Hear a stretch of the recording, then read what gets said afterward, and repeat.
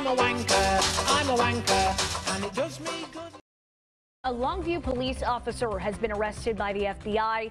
They say he tried to get a minor to engage in illegal sexual activities.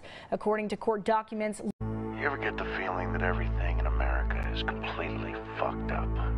They can't stop us, cause we're ready